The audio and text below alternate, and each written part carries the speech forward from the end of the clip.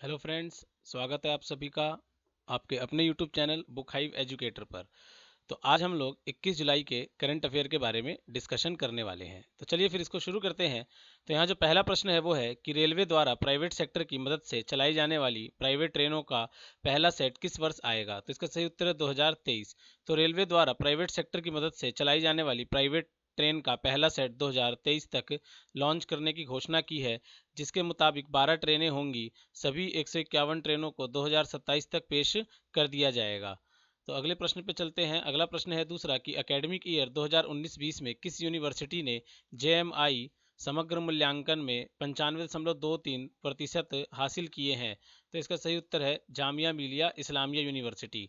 तो जामिया मिलिया इस्लामिया यूनिवर्सिटी की बात करें तो मानव संसाधन विकास मंत्रालय के मुताबिक अकेडमिक ईयर 2019-20 में जामिया मिलिया इस्लामिया यूनिवर्सिटी ने जेएमआई समग्र मूल्यांकन में पंचानवे दशमलव दो तीन प्रतिशत हासिल किए हैं, जबकि इससे पहले एनआईआरएफ रैंकिंग में इस यूनिवर्सिटी को दसवां स्थान मिला था। तो तीसरा प्रश्न है कि निजी क्षेत्र के किस बैंक को उसके शेयर होल्डर्स ने बॉन्ड्स के ज़रिए पचास हज़ार करोड़ रुपए की पूंजी जुटाने की मंजूरी दे दी है? तो इसका सही उत्तर है एचडीएफसी बैंक। तो एचडीएफसी निजी क्षेत्र के एचडीएफसी बैंक को 26वीं एनुअल जनरल मीटिंग में उसके शेयर होल्डर्स ने बॉन्ड्स के ज़रिए पचास हज़ार करोड़ रुपए की पूंजी जुटाने की मंजूरी दे दी है, जबकि केनरा बैंक भी पचास हज़ार करोड़ रुपए जुटाने की योजना बना रहा है। तो चलते अगले प्रश्न पर। अगला प्रश्न है कि बी डब्ल्यू एफ़ ने अध्यक्ष पद का कार्यकाल कितने वर्ष के लिए सीमित कर दिया है? तो इसका आंसर है चार बार। तो बैडमिंटन वर्ल्ड फेडरेशन ने हाल ही में काउंसिल में जेंडर इक्वलिटी के लिए 30 प्रतिशत महिला सदस्यों की नियुक्ति की मंजूरी के साथ अध्यक्ष पद का कार्यकाल चार बार के लिए सीमित कर दिया है। साथ ही ऑनलाइन पीजीएम के दौरान सदस्यों ने संविधान में बदलाव को मंजूरी भी दी है। तो अगला प्रश्न है कि निम्न में से किस देश की क्रिकेट टीम के खिलाड़ी डॉम सिबले आईसीसी के गेंद पर लार के इस्तेमाल का नियम तोड़ने वाले पहले क्रिकेटर बन गए हैं? तो इसका सही उत्तर है इंग्लैंड टीम। तो इंग्लैंड क्रिकेट टीम के ओपनर बल्लेबाज डैम सिबले ने गेंद पर गलती से लार का करते हुए पाए गए। इसके साथ ही वे आईसीसी के गेंद पर लार के इस्तेमाल का नियम तोड़ने वाले पहले क्रिकेटर बन गए हैं। यह घटना ओल्ड ट्रैफर्ड मैदान पर लंच के ठीक पहले बयालीसवें ओवर में घटी थी।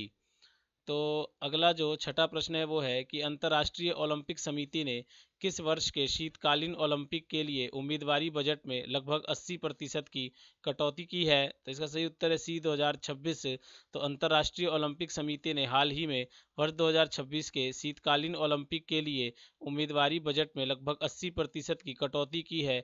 आईसी आईओसी ने कहा कि इस लागत में कमी ओलंपिक एजेंडा 2020 की सिफारिश तीन के कार्यान्वयन का सीधा परिणाम है। तो चलते हैं अगले प्रश्न पर। अगला प्रश्न है कि लुइस हैमिल्टन ने कौन सी बार हंगेरियन ग्रैंड पी जीत कर किसी पर आ, किसी ट्रैक पर सबसे ज़्यादा रेस जीतने के शुमाकार के रिकॉर्ड की बराबरी कर ली है? तो इसका जो सही उत्तर है वो आठवीं बार। तो लुइस हैमिल्टन ने आठवीं बार हंगेरियन ग्रैंड पी जीत कर किसी एक ट्रैक पर सबसे ज़्यादा रेस जीतने वाले माइकल सुमाकार माइकल सुमाकर के रिकॉर्ड की बराबरी कर ली है। यह है लुइस हैमिल्टन की छियालीसवीं जीत है। माइकल शुमाकर ने वर्ष उन्नीस सौ चौरानवे में पहली जीत दर्ज की थी और उन्होंने फ्रेंच ग्रांड प्री रिकॉर्ड आठ बार जीती थी। तो अगला जो प्रश्न है वो है, बार्सिलोना के नियोलन मेस्सी ने हाल ही में रिकॉर्ड कितनी बार पीचीची अवार्ड जीत लिया है? तो इसका सही उत्तर है, सातवीं बार।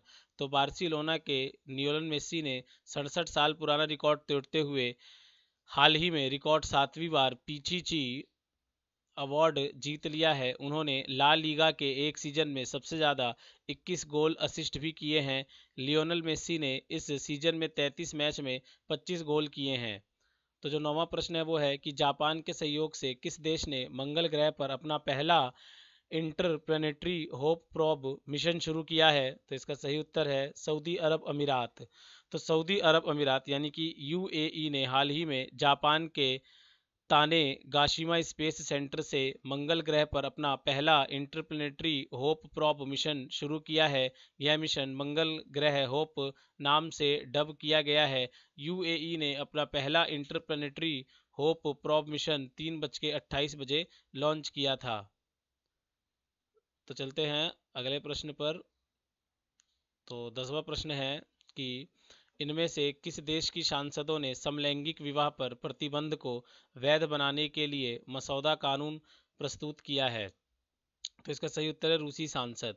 तो रूसी सांसदों ने हाल ही में समलैंगिक विवाह पर प्रतिबंध को बैन बनाने के लिए मसौदा कानून प्रस्तुत किया है। रूसी जनमत संग्रह 2020 के मुताबिक मतदाताओं ने संविधान में प्रस्तावित परिवर्तनों को भारी समर्थन दिया था। तो दोस्तों, अब हम लोग 21 जुलाई से संबंधित ऐतिहासिक घटनाओं पर चर्चा करते हैं। तो अठारह सौ तिरासी कलकत्ता में भारत के पहले सार्वजनिक थिएटर की शुरुआत हुई। अठारह सौ चौरासी लॉर्ड्स के मैदान पर पहला क्रिकेट मैच खेला गया। अठारह सौ अट्ठासी ब्रिटेन के आविष्कारक डनलप ने टायर और ट्यूब तैयार किए, जिससे परिवहन के साधनों में गति बढ़ी। 1914 13 साल तक चले विमान निर्माण के कार्य रूस के 4,607 किलोमीटर लंबी ट्रांस साइबेरियन रेल लाइन का काम पूरा हुआ जो कि आज के टाइम पे दुनिया का सबसे लंबा रेल मार्ग भी है। 1940 सोवियत संघ ने एंटोनिया लातविया और लिथुआनिया पर कब्जा किया। 1960 श्रीलंका श्रीलंका में सिरिमावो भंडार भंडार नायके विश्व की पहली महिला प्रधानमंत्री बनी। उन्नीस सौ बासठ भारत चीन के बीच सीमा पर युद्ध। उन्नीस काशी विद्यापीठ को विश्वविद्यालय का दर्जा दिया गया। 1988 भारतीय राष्ट्रीय उपग्रह इनसेट वन सी का प्रक्षेपण हुआ। 2007 वॉशिंगटन ने चार दिन के विचार विमर्श के बाद भारत, अमेरिका परमाणु समझौते का प्रारूप तैयार किया गया। 2007 प्रतिभा पाटिल भारत की पहली महिला राष्ट्रपति बनी। 2008 नेपाली कांग्रेस के वरिष्ठ नेता भारतीय मूल के रामबरन यादव को नेपाल का पहला राष्ट्रपति चुना गया। 2013 बेल्जियम के महाराज अल्बर्ट द्वितीय ने बेटे फिलिप की ताजपोशी के लिए राजगद्दी छोड़ी। तो दोस्तों, ये हमारे 21 जुलाई के करंट अफेयर और ऐतिहासिक बिंदु थे। तो हमारे वीडियो को आप लोग शेयर करें, लाइक करें और हमारे चैनल को सब्सक्राइब ज़रूर कर दें। तो मिलते हैं अगले करंट अफेयर के साथ नेक्स्ट वीडियो में। तब तक आप लोग अपना ख्याल रखिए। धन्यवाद।